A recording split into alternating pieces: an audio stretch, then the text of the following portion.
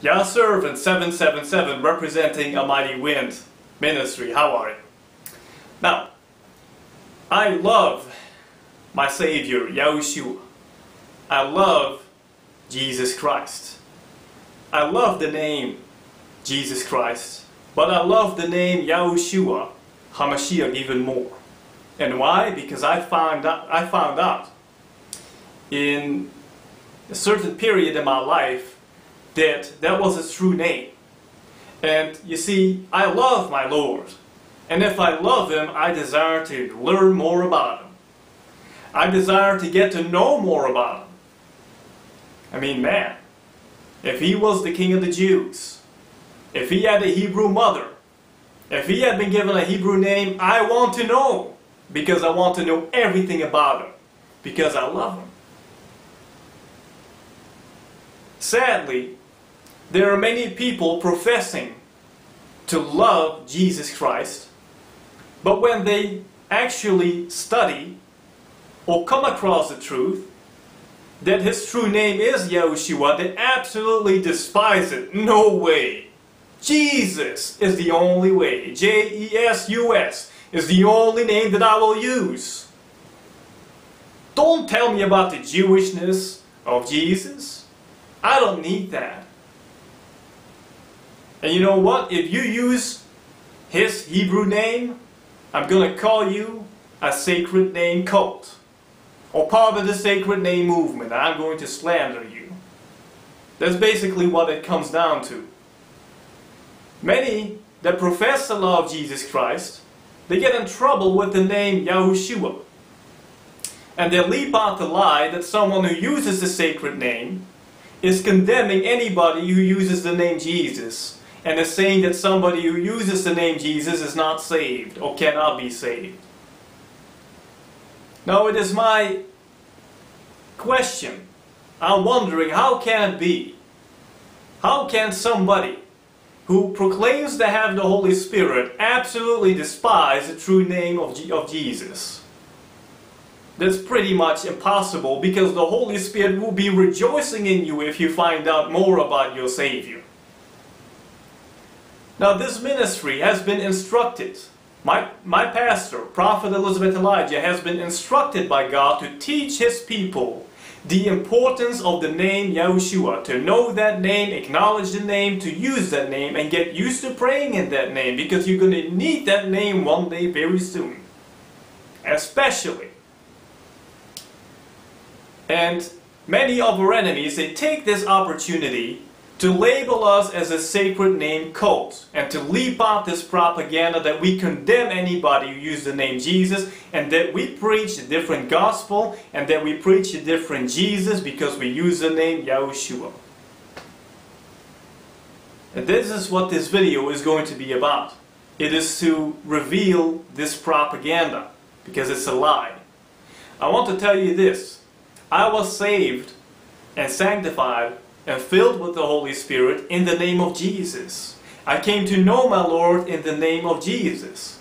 My pastor Elisabeth Elijah was saved in the name of Jesus. Many of us in the mighty wind were saved in the name of Jesus. There is power and anointing and saving and delivering and healing power in the name of Jesus. But there is something very strange. Did you know that the name Jesus a few hundred years ago didn't even exist? Did you know that the, name, that the letter J a few hundred years ago didn't even exist? Did you know that the name Iesus, which Jesus derives from, the Greek Iesus, apparently doesn't even appear in the oldest Greek Bible available on the internet, written more than 1600 years ago. So how is this possible? People being saved in the name of Jesus. How can that name hold power? I tell you this, God in His mercy, because this generation, including many of you that are watching and I, didn't know better. And in His mercy, He anointed the name of Jesus. Again, even though the name Jesus about four to five hundred years ago didn't even exist, And the Greek Iesus doesn't even appear in the oldest Greek Bible available. And for our sakes, he blessed and honored that name so we could be saved and come to the saving grace of Yahushua the Messiah. But the thing is this, if Jesus is not the original true name of Yahushua, doesn't this only tell us and indicate that we had better learn the name of Yeshua because if the name Jesus can be that anointed because uh, God honored it, I think the name of Yeshua is going to give us even more power. It's going to give us even more anointing. Now if the name Jesus didn't even exist or appear in the original manuscripts, how can it be the name above all names? How can that name be eternal? In order for the name Jesus to be eternal, just like God Himself is eternal, and God the Son Himself is eternal, the name should have no beginning and no ending. The name Jesus obviously had its beginning, as it didn't even exist. The name Yahushua, on the other hand, which means Yah saves, contains the Heavenly Father's eternal name, Yah. Yahushua's name is eternal, and the name Jesus is not eternal. You see, God in His mercy honored to name Jesus so we could be saved because we didn't know better. But we learn throughout the Holy Bible, the Word of God, this principle that we are held accountable for what we know, what God teaches us, what He reveals unto us. He holds us accountable by the knowledge that He grants to us and the secrets He reveals to us through His servants, the prophets, whom he even would send forth in these last days, as prophesied in the book of Acts and prophesied in the book of Joel. You see, if we know things about our Savior, then we have to hold on to that knowledge and truth because is, God is going to judge us according to the knowledge that we possess. So the name Jesus, if it's not eternal, there are people out there in this community that say, Yahushua, I'm never going to use that name. I'm never going to get along with that sacred name movement. They're all a cult, and they're judging us. His name is Jesus. Let me tell you, the reverse is true. Many that despise the Jewishness of the Savior and the name Yahushua are condemning those who, who use the name Yahushua. It's not the other way around. TJ Brook 88 is one of those liars who wants to make people believe that the mighty wind is preaching a different Jesus because we use the name Yahushua. She wants to leap it out that we condemn anybody who uses the name of Jesus. She wants to leap it out that Yahushua is in fact the mark of the beast. Now can you believe that? She says in one of her videos, not calling upon the name of Jesus is Satan's mark. Because you use the name of Jesus, you come against their doctrine. It's the same thing. And Satan's moving to ready people, to get them ready to accept that mark, to not call upon the name of Jesus Christ. This is what all this sacred name movement is about. Excuse me? That is heresy of the first order. How can you prove such a statement to be true? Okay, and first of all, if you use the true name of the Messiah, which is Yahushua, how can you go wrong? Who is closer to preaching a false Jesus? Someone who uses the true name of Jesus? Or someone who uses the name that didn't even exist a few hundred years ago? You see, these are the kind of lies that I would like to expose right here and right now in this video. It has been prophesied through Elisabeth Elijah that Satan, the son of Satan, who is called the Antichrist in the Bible, and who is spoken of, for example, in the book of Second Thessalonians chapter 2, that the Antichrist would exalt himself above all that is called God all that is worship, so that he as God will sit in the temple of God, showing himself that he is God. In agreement with that biblical prophecy. It was prophesied through end time prophet Elisabeth Elijah that the devil, the Antichrist, will claim the name Jesus Christ for his own. A name that a few hundred years ago didn't even exist, yet is loved and known the world over and that is used in the mainstream churches all over the world by fake preachers. A name that many, even right now, claim for their own. There are many people that profess to be Jesus Christ, and they have great followings. Now, let me ask you, why would Satan be so fond of that name? Why can he so easily use that? But why does he shun and absolutely shun the name of Yahushua, which is the true name of Jesus? Let me tell you, it is because Satan shuns the name of Yah, because it's the Father's eternal name, Yahweh. And this, the, the Son came in the name of the Father, which is also biblical, Yahushua, as a constant reminder that Yah saves. So, Satan is going to claim the name of Jesus Christ for his own in the Great Tribulation, and it has been prophesied through Elisabeth Elijah that the name of Jesus is going to lose its anointing, power, healing and saving and delivering power that it contains right now for our sakes because we didn't know better. But now through ministries like a Mighty Wind ministry, you are being taught by God's prophets. The messages that He passes on through His prophets. That you need to know Yahushua's true name so that you will never be able to go wrong. And that in the Great Tribulation He can save you, deliver you, and answer your prayers. Because if you pray in the name of Jesus in the Great Tribulation, you know what? The Antichrist will say, Here I am. I am Jesus. You see, there are people that have great trouble with believing this.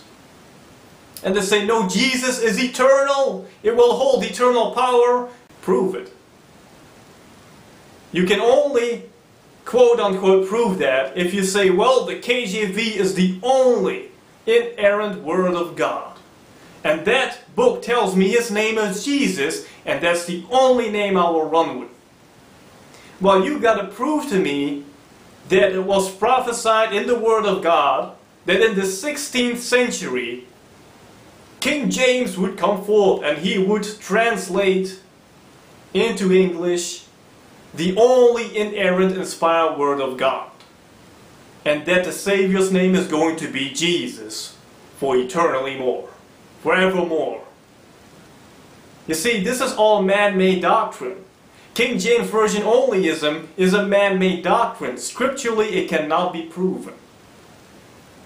If the King James Version is inerrant, then why is God's name blotted out?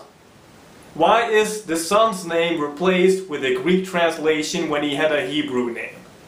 That in itself shows you that the King James Version cannot possibly be inerrant or translated more accurately than the original manuscript. That's not possible. Okay. So, right now, I want to reprove two lies that are being spoken by T.J. Brooke 88. She says that a Mighty Wind Ministry is preaching a different Jesus because we use the name of Yahushua. Now, this is baloney. Who is closer to preaching a false Jesus? Someone who uses the true name or a false name? Or a name that, that didn't even exist a few hundred years ago? So that's just slanderous and blasphemous baloney. Second lie is she says that a Mighty Wind ministry is basically holding the mark of the beast. She says in one of her videos, no, I'm not kidding, that not calling upon the name of Jesus in the Great Tribulation is Satan's mark. In other words, the mark of the beast. Do you know what this woman is saying? That the name Yahushua is the mark of the beast. If you call upon the Savior's true name, it is the mark of the beast. That's what this woman is saying. this blasphemous, slanderous, hypocritical liar who dares to call the Holy Spirit in this ministry Mystery Babylon, the mother of all harlots. Again, this cannot be proven. It is heresy. It cannot scripturally be backed up. And again, who is closer to the beast and his mark? Someone who uses the true name Yahushua, or someone who uses a mistranslation, which is Jesus. They say a mighty minister preach heresy. They say you can call upon the name of Jesus now, but in the great tribulation you must say Yahushua. And they say, I will come against you, false prophets. I will expose you. I will stand against your doctrines of demons. That's what T.J. Brook 88 says. I say, why do you despise the name of Yeshua? If you claim to love Jesus. And secondly, how can anybody go wrong with using his true Hebrew name? Which the Bible says is the, name, is the name above all names. And there is no other name given on earth whereby we must be saved. This is what T.J. Brook 88 says. Call God whatever you want. And this woman dares to call us New Agers. Now this is what I call New Age. Call God whatever you want. This is completely unscriptural and T.J. Brook 88, you have to prove that the name Jesus, which didn't even exist, is eternal and holds eternal power. You can't prove that. You are a slanderous, blasphemous liar. And I rebuke you again in the name of Yahushua HaMashiach. All those that are watching, learn the name of Yahushua. Know that we do not condemn anybody who uses the name Jesus. We were saved in the name of Jesus. But again, the biblical principle is that God holds us accountable for what we know. When He tells us that His Son's true name is Yahushua, and you had better learn that name, you had better obey God. And again, if you have the Holy Spirit, how can you not rejoice by learning the Savior's true name? How can you not rejoice? That's not possible. How can you despise the Jewishness of the Messiah when you claim to have the Holy Spirit? It's not possible. Those that say only the name Jesus will do, don't listen to these sacred name cults. They are slandering everybody who uses Yeshua's name. And they dare to call the name Yeshua the mark of the beast. They are blasphemers. They are full of the Antichrist spirit. So be warned. T.J. Brook 88 and all the liars, again, exposed. These are Satanists in the midst of the community carrying out an agenda to lead you to the Antichrist who will claim to be Jesus Christ.